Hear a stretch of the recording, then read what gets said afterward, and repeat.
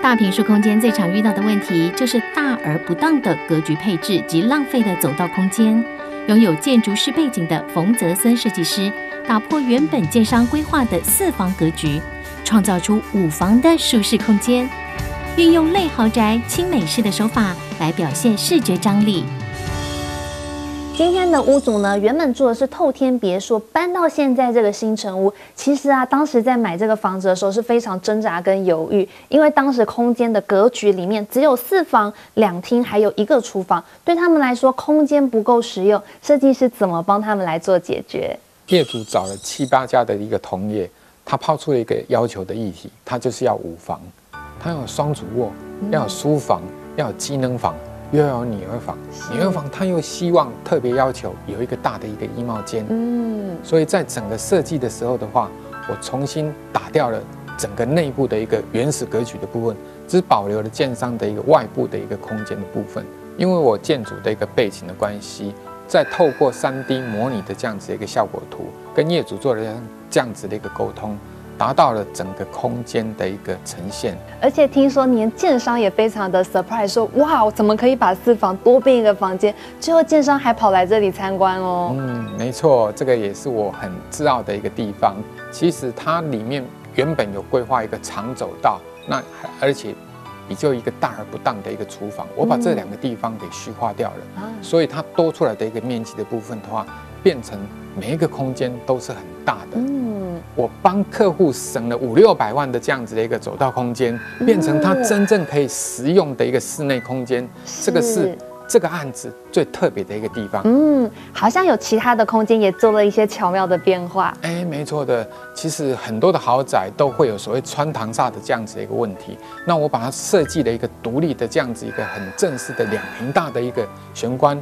这个。玄关的旁边又多了一个独立的一个收纳储藏空间，哇，这个都是在一般的豪宅里面比较难去呈现的地方。是机能一定要非常的强。其实啊，餐厅旁边那个多功能房，我觉得空间设计起来也很有意思哎。哎，没错的，大女儿已经嫁了。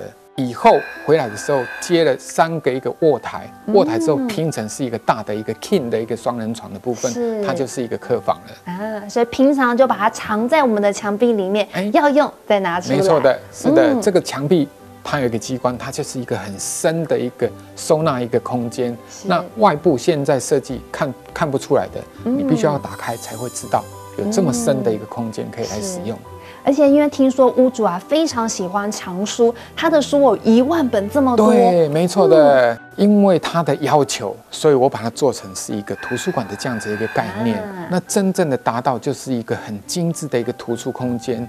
这个图书空间它旁边就是一个下一代的主卧房的部分。嗯。当主卧房的第三代出来的时候的话，如果二女儿出嫁了之后，就变成是一个小孩房。啊。那。地板的架高，透过这样子的一个设计，在未来面的部分呢，亲子伴读的时候，他们可以席地而坐。对，把这个空间就给规划出来了。刚刚提到女儿的房间，我原本以为空间比较小，没想到设计师竟然帮她争取到个完整的更衣室。哎，没错的，这个也是因为我自己建筑专业背景的关系，我去代表客户去跟建商这边做了一点的一个沟通，那做了一点的微调之后的部分的话。呈现了这样女孩，女孩子她想要的这样子一个设计是。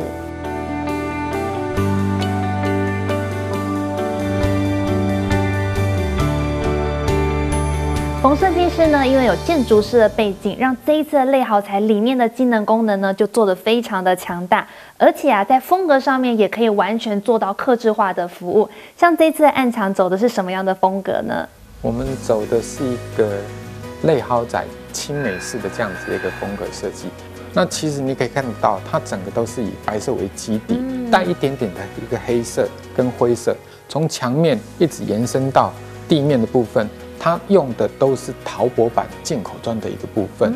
那尤其是你可以看得到，我们这陶博板的部分，它原本其实是一百二十乘一百二十的一个预算的部分，但我帮它做了一个 upgrade 这样子的一个设计，而且又做了。所谓菱形贴的部分，是。它是更耗材、更费工的部分。这种进口的一个陶玻板的部分的话，它跟天然大理石最大的一个不同的地方，它是一个无机质的这样子一个材质的设计，它不会吃色，以后很好保养。而且我觉得它整个延伸到我们的电视墙，让电视墙在颜色或者材质上面，它其实蛮有层次的哦。哎，没错，它其实是一个异材质的一个设计，它包含了一个陶板砖，它包含了一个立体的一个壁布，它包含了一个木头的一个部分。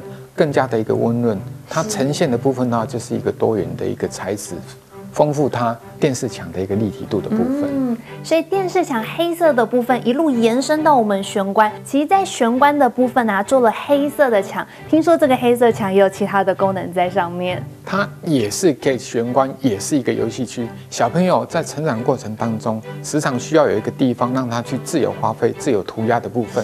所以我们做了这样子一个设计。那墙面上的这些挂钩，回来的时候的话，是一个落尘区，挂了风衣。那这个也是一个很不同的一个地方。当然，最重要的，我们有上百双的这样子一个鞋柜的收纳量的部分，这个是一个。特别特别的地方啊，所以在玄关这边规划就非常的完整。其实来到我身后这个餐厅区，会看到，哎，因为三代同堂，所以做的都是一种圆圆满满、很圆融的一个感觉耶。哎，没错对，因为我们华人的关系，所以它还是用圆来去代表整个一个圆融的一个观念。那三代的关系，所以我。做一个内圆角的一个设计，这样子一个线条灯的一个设计，我想是比较不同于一般的一个设计师呈现的一个地方。那我们知道，其实设计师你拥有建筑师的背景，同时你又有讲师的背景。我很好奇，一般你在规划这种大平数的时候，是用什么样的设计概念来去做发想的呢？我希望让客户的花的每一份钱都是扎扎实实的。嗯，那呈现的东西就是一个概念，什么样的概念？价值创造。一定不让它的空间有任何的一个损失。拥有建筑师背景的冯设计师，透过他的专业规划和坚强的团队服务，替屋主创造最有价值的装潢设计。想欣赏更多冯泽森设计师的作品，请上幸福空间网站搜寻。